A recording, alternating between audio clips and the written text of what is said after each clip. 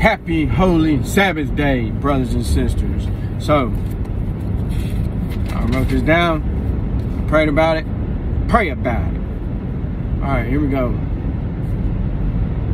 This is what the Holy Spirit made me write, write down. Wrote it yesterday. I've been praying about it. And now it's time. Now, dear God, bless everybody that watches this, that thumbs up, thumbs down, don't thumbs up or down. Uh, please let them follow sound doctrine, God, and show them to repent and flee from sin. Watch over my family, friends, and enemies. In the blood and name of Jesus Christ our Lord, and the Father, Son, and Holy Spirit, glory to the Lamb of God, glory be to God, from God, for God, forever and ever. Amen. All right. They won't reprove their hearts for the word of God, but quick to renounce the word of God in the name of God. To stay blind in their pleasures of worldly ways and self-righteousness. Be moved and convicted of the word of God in your own heart, not anyone else's. Always keep a one-on-one relationship with God and Jesus. Don't even deceive yourself or others trying to cover up the truth of sin, the truth of conviction, and the true truth of salvation and your redemption. Don't damn yourselves to hell trying to drink with demons and making excuses of why you're trying to drink out of two cups. Or one foot in the door and one foot out the door in the world. Either you submit and commit all the way as a faithful, loyal soldier of Jesus Christ, or you are an enemy of Jesus Christ. And you're an enemy of God. If you're an enemy of Jesus and God, you're an enemy of me.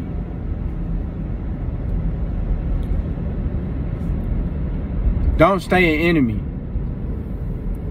to sound doctrine, to Jesus, because you want pleasures of the world instead of full salvation of Jesus and God. I know this to come to pass. Things of chaos is coming, and they will be coming, and no one's going to stop it. No climate policies is going to stop it. No one's going to stop any of this. God and his holy angels show me the not too far near future at hand. Some hate the new version of me. Some say I preach all the time. I prophesy too much. I preach too much. I preach too hard. Amen. I know that's right. You like that? Me too. Quick with my hands. Remember that. Now, well, I say run from sin, flee from the flesh, heed from the worldly ways that have the spirit of the Antichrist.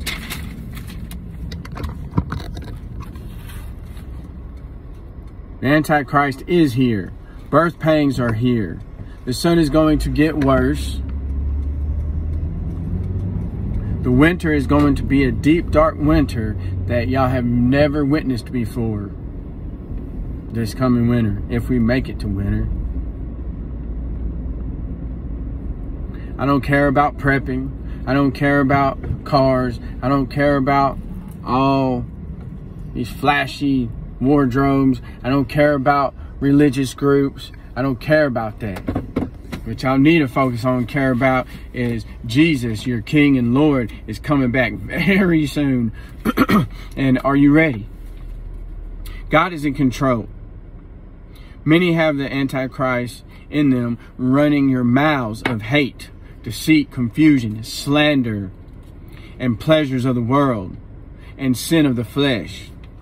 Many should read Romans chapter 1, 24 and 25. Therefore, God also gave them up to uncleanness, in the lust of their hearts to dishonor their bodies among themselves, who exchanged the truth of God for the lie and worshiped and served the creature instead of the creator who is blessed forever. Amen. Go to God. Don't conform to this world anymore where it will lead many straight to hell in a handbasket, not heaven. Please follow your true calling that God put in you.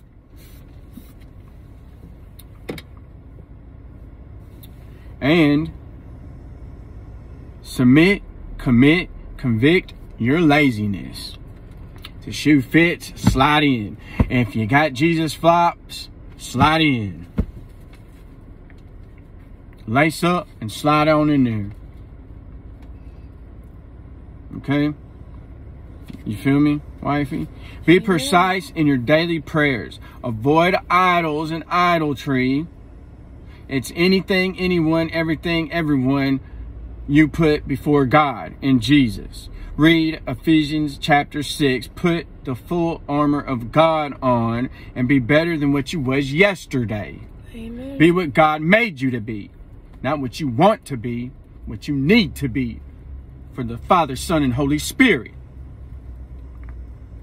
repent or perish, pray or suffer what is yet to come to pass. Amen. Hallelujah. Hallelujah. Hallelujah. Hallelujah. Now, with that said, I'm just going to read this real fast and close with prayer. In the last days, which we are in the last of the last of days, God says, I will pour out my spirit on every kind of people. Your sons will prophesy. Also, your daughters, your young men will see visions. Your old men dream dreams. When the time comes, I'll pour out my spirit on those who serve me, men and women both, and they'll prophesy. I'll set wonders in the sky above and signs on the earth below. Now, God ain't going to do nothing until all the true men and women of God, servants of God, prophets of God, true men and women of God, preachers, pastors, deacons, watchmen. We are here to warn you first. We are here to tell you these things that are about to come to pass, and they're about to come to pass. And are you ready? Are you ready? Ask yourself, are you truly ready? Are you truly submitted to God? Do, do you have conviction in your heart and soul? Do you have the Holy Spirit in your veins? God be telling me, showing me this. Some of y'all, y'all are gaming too much. You're doing too many drugs. Be sober minded. Sound mind. You're cursing too much.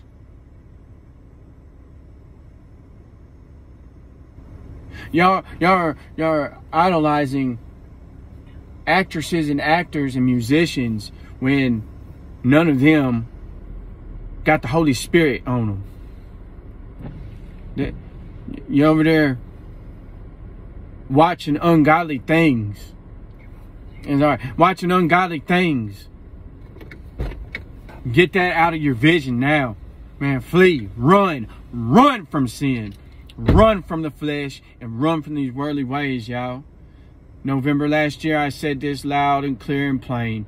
We got major events coming in September. Horrific events are about to happen in September.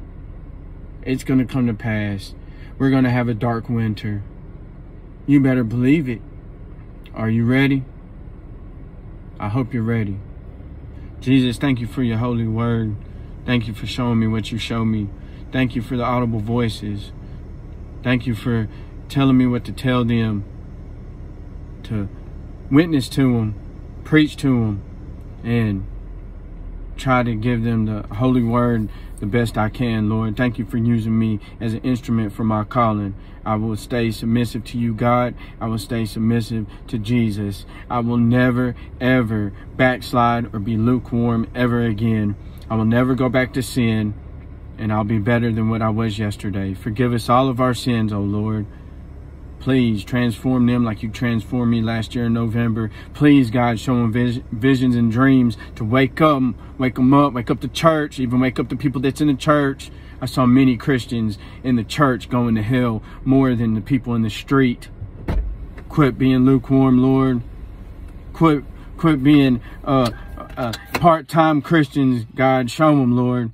In Jesus' almighty name, in the Father, Son, and Holy Spirit, in the name and the blood of Jesus Christ our Lord. Amen. Hallelujah, hallelujah, hallelujah. Go to God.